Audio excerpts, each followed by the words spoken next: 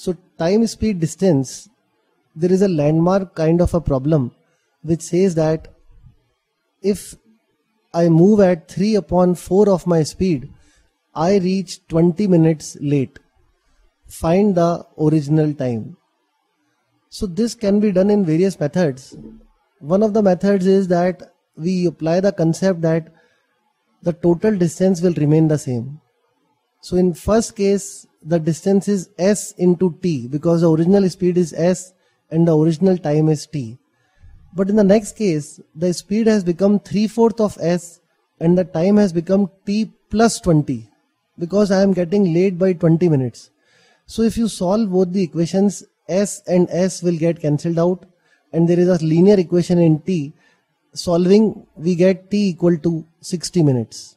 So the original time taken will be 60 minutes. There is one more method which is second method which says that the speed will be inversely proportional to the time. So if I am taking 3 fourth of the speed, the time will become 4 by 3, completely inverse. So it is akin to saying if t was the original time, the new time will become 4 upon 3t. And we can write the equation 4 upon 3t minus t is equal to 20, which is what the person was late. So solving we get one third of t equal to 20, we get t equal to 60. Now I would also like to tell you a very very important shortcut trick for all such questions which is the method number 3 for this question.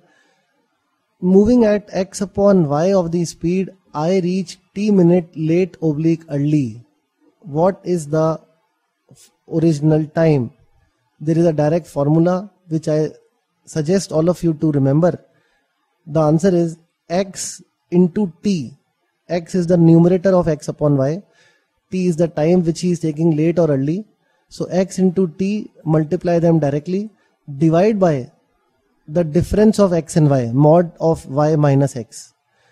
This is the formula x into t divide by mod of y minus x. I will directly get the answer. So let us apply here 3 by 4 of the speed 20 minute late.